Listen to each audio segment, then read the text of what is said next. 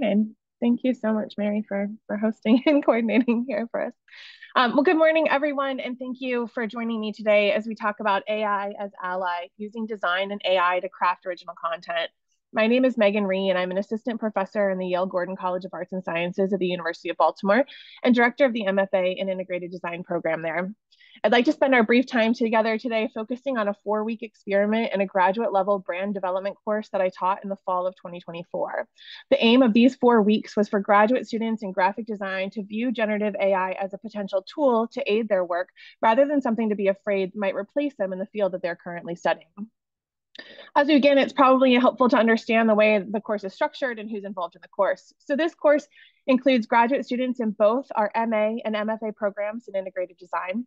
Students here have a wide variety of backgrounds entering the program, with some having graphic design and visual communication experience, but oftentimes students are what we say have backed their way into industry, meaning that they uh, come with more of a visual uh, or communications or a business background and not a traditional art or BFA.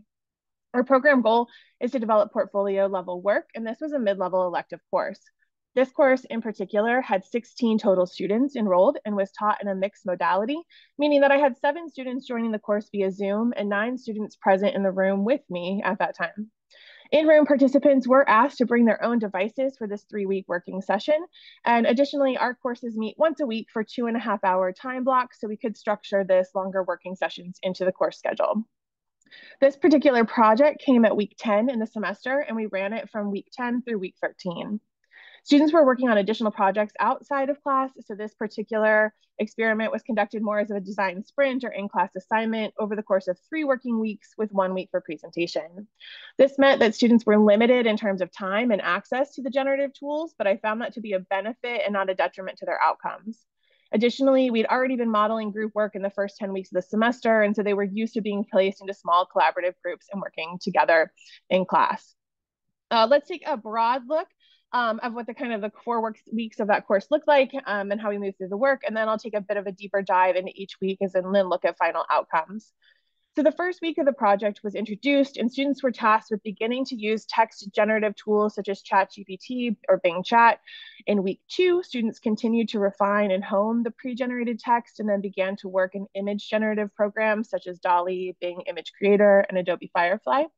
In week three, students began uh, or spent time refining and finalizing their works, as well as creating full mock-ups and preparing for presentation week. In week four, teams were asked to share their work through a brief presentation to their peers.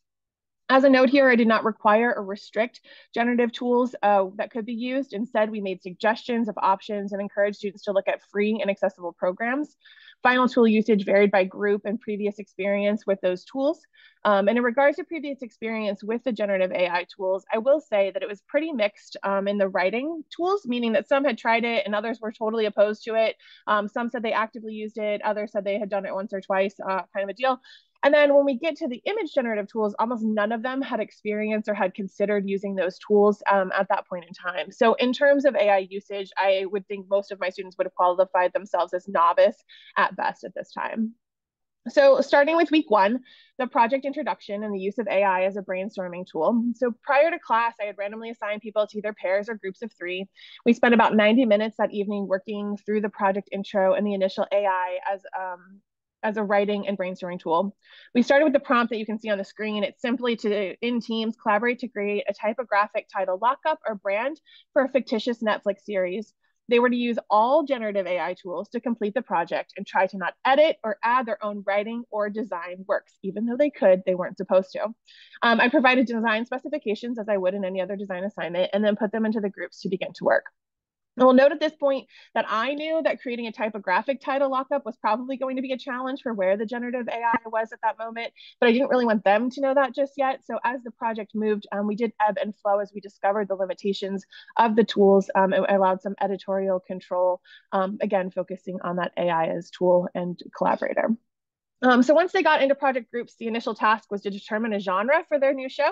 This is where teams had some choice. Um, before we moved into using the tool, they got to select um, and then move forward.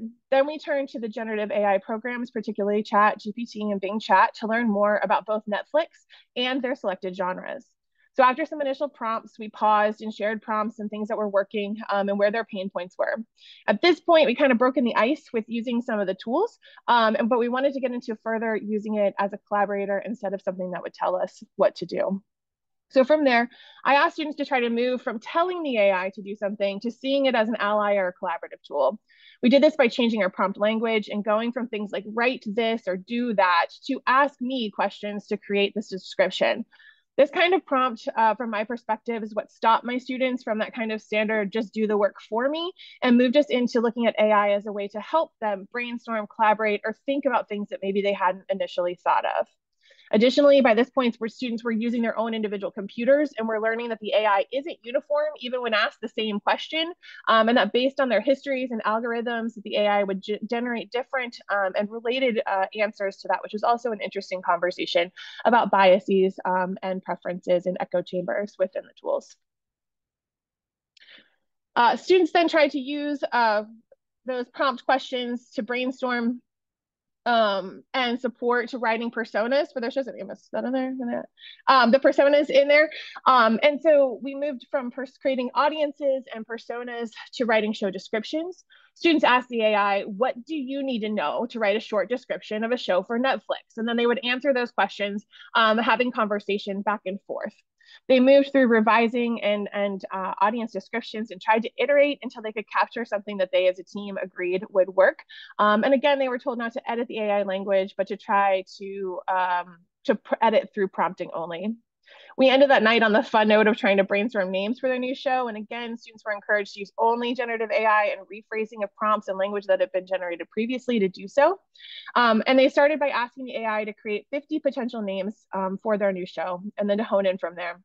As a note, 50 was not an arbitrary number for this group. In previous assignments, they've been asked to brainstorm 50 names or to sketch 50 identities, um, 50 feeling like an unattainable and frustrating number for many of them along the way. Um, through this process, they expressed a lot of surprise and intrigue at how fast the AI could get to 50 and how it might help them to increase or push their own thinking um, beyond for some of the more obvious solutions. Um, in week two of the experiment, we actually had a little bit more time in class. And so we took a minute to step back and talk about the role of generative AI and its evolving uh, place within the graphic design field. First, we discussed how to or should uh, AI get credit when it comes to graphic design work in particular, and how in the industry, graphic designers aren't often attributed to their work to begin with. We looked at what MLA and APA styles say in terms of citation, but again, those aren't typical within our field. So we had conversations about how we can and should uh, be giving credit to AI, where we had seen that in exhibitions and in academic and professional settings, how that they might be different. Um, we were able to have a conversation about academic integrity and where and how to identify those works um, and AI tools through acknowledging and tracking of prompt language that the work generated. There was discussion on ethics and where generative tools are training and grabbing the works from, and how we should watch for ethical usage in the programs we select.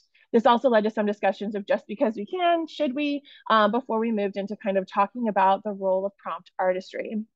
We talked about the importance of language and understanding of historical movements in the design and communication field to be able to use the AI as a productive, not time sucking tool.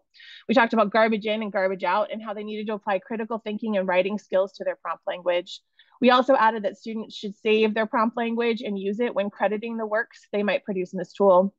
They were encouraged not to stop at first prompt results, but to draft, rewrite, and ask the AI to help them craft better language. We broke into groups and students were asked to review their writing they had created that week and uh, week before um, and see if they could quickly use the AI tools to revise any rough spots. We then attempted to get show descriptions down to 280 characters, which is roughly what Netflix show teasers allow to be seen. This showed limitations in editing and understanding of parameters within the tools. And at this point, they all wanted to intervene, but we tried not to do so. After that, we spent time reviewing names and promoting, uh, re-prompting to iterate in more and more shows. Some of them have over 200 potential names to consider and many were bad and laughable. Um, but at the end, each team selected a name for their AI show. At this point, it was time to move from the writing component of the project to the imagery generative aspect of the project. Um, and before doing that, we paused and we thought about design concepts that they had learned in other courses. And within this one, we discussed the power of a picture and how stats shared by Netflix suggest that average viewers spend 1.8 seconds considering whether each title they're presented with is something they would want to watch.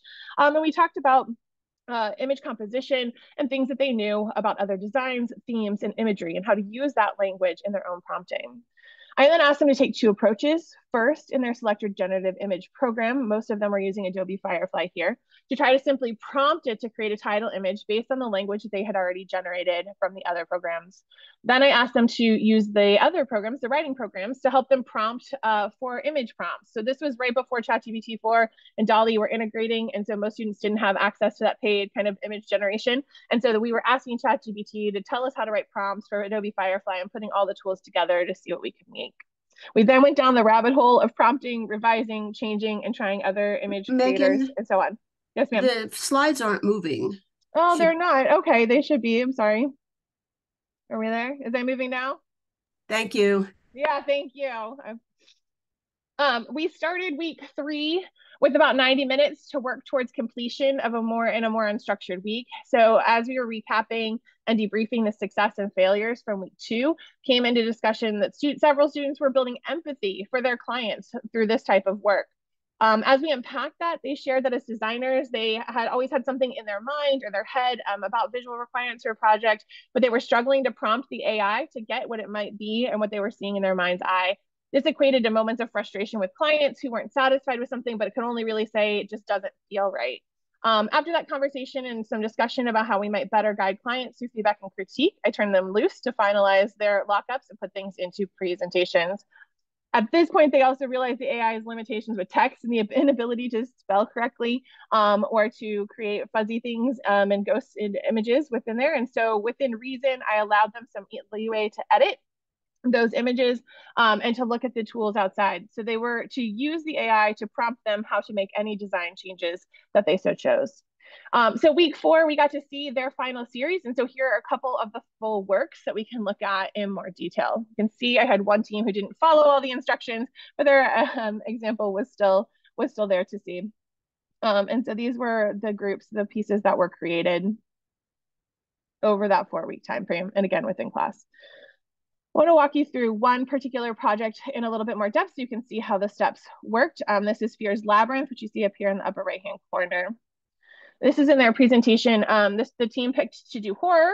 Um, through their process of elimination, they named their show Fear's Labyrinth, and they had the AI write the summary here that you can read on the page.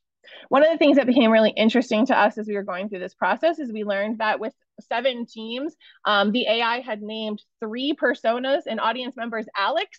Um, and so we talked about the lack of creativity and originality coming from this type of work and how we can bring um, something else to that space when we looked at imagery, um, they were asking ChatGPT to help them decide and define and to write the prompts for their imagery. Um, and so according again to that model, these are the, the words and the, the concepts that it was coming up and producing for them.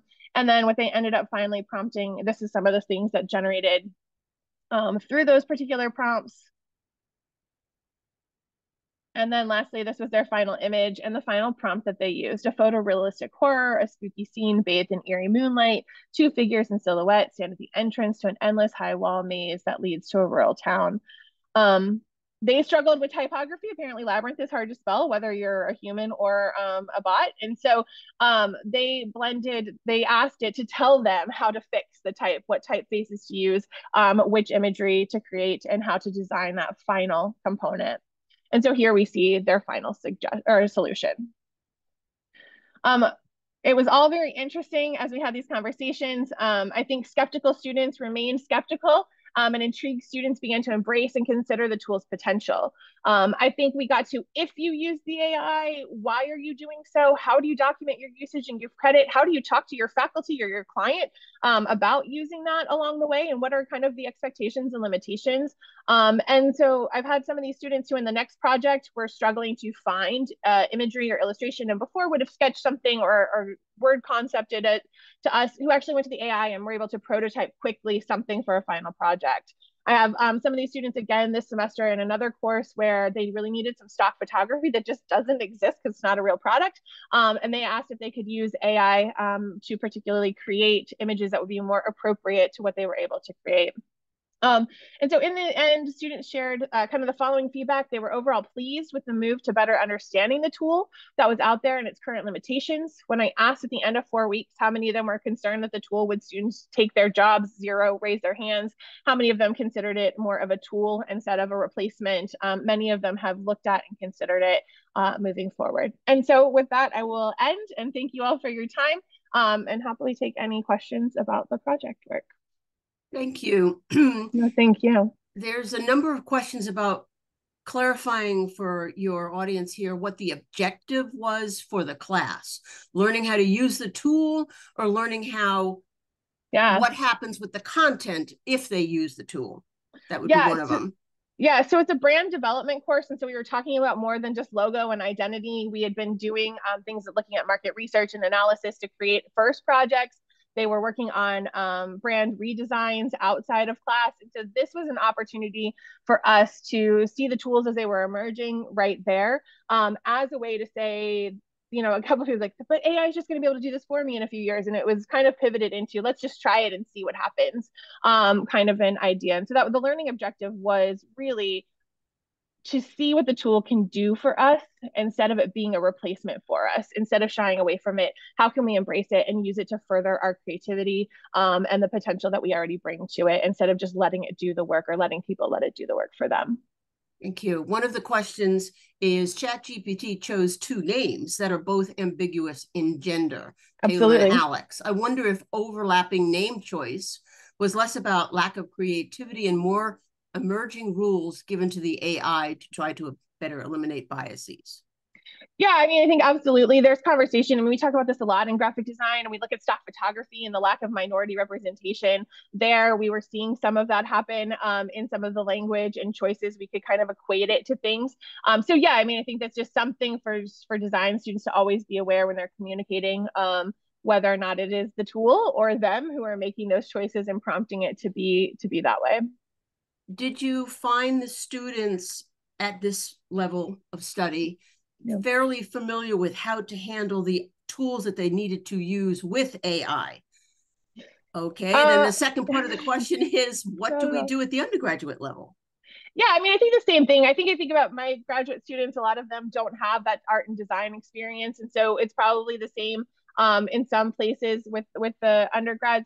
I think for me, it's about looking at kind of what was talked about earlier, pedagogies in learning. Like, how do we teach them how to consider it as an option, not as the only option or the the back end option, but how do we look at it to um, increase our creativity? What my students learned was that they could have conversation with the AI instead of it just doing. They could talk to it in some ways, um, and in design fields, and, and oftentimes as students, we're doing so much individually that we sometimes forget that having a conversation with someone else can be helpful. And we can't always find that opportunity to connect with another person to get their time and their expertise. And so maybe in those places or instances where we are on our own to do something, we could have someone else or some other thing communicating and challenging our thoughts back. And so I think that that's applicable regardless of, of level of student. What did you what did the students seem to understand about the copyright issues in behind this? Yeah so that we got a little bit into that um, and so that's kind of where in, in Firefly i think there's a little bit less of that they're using um, things that are already owned or copyright or have some of that into it. Um, we talked about being careful about some of the other tools that are coming out and, and putting your work in there um, where again giving credit and that's also a problem just in general i think in the field. Um, so it was it was challenging for sure but we talked just about you know when you're doing it with a client making sure that the client knows where it's coming from and why it's coming from there but also really within classroom spaces talking about how um, share with your faculty you know like you err on the side of oversharing send another mm-hmm. document that says this was the prompt i used this was the tool i used this is why i did that um, and that was really helpful because most of them thought well i either do it or i don't do it um, and so when they thought, oh, I actually could just tell someone that I did it, and therefore it becomes more of a conversation. Did I do this correctly? As we're all still learning how to cite and credit and to be mm-hmm. concerned about the things that it's taking overall.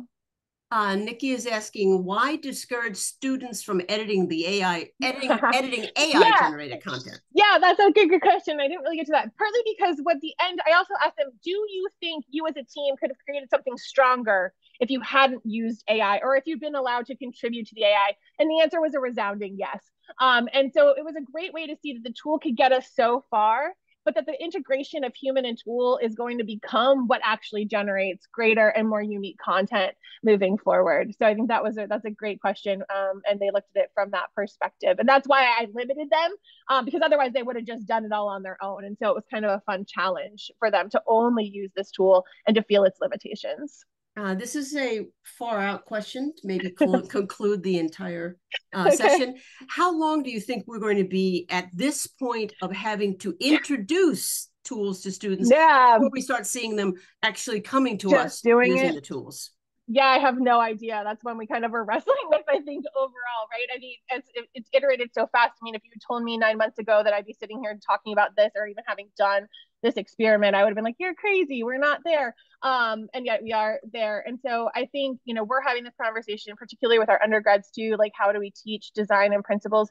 I think the conversation really came into those theories and those principles are there and the bots can't, like the, the generative AI can't do that or understand that it needs to be told what retro is or it needs to be shown a specific style and that only mm-hmm. comes from critical thinking um, and from understanding of kind of and studying the background so i think it's going to be you know, a, a, while, but I do think students are using it more and more. Um, you know, spell check and all these other kinds of things are things we've used for a long time that are AI. We're just going to have to kind of adapt and have conversations. I think that transparency part that was mentioned earlier today by our keynote speaker is going to be critical in understanding and students telling us why. And more in whoop, the question just bumped. There it is. um, and I've lost it. This is a different one um, access, institutional access to Copilot or even using Firefly. A lot of these yeah. are um, bleeding our private data. Do you discuss that with the students before they actually start? We didn't, and that this was kind of like a quick, let's just see what can happen kind of tool. But I do think those conversations need to take place and will continue. And because we tried it as a tool, they've allowed us to have these conversations um, in other classes and other spaces and to think about them as a larger, as a faculty for sure. I want to thank you very much, Megan. I didn't even get to that point with Pralit, but thank you very much. Uh, we appreciate you. it. It is time for all of us to start moving thank to the next. Uh,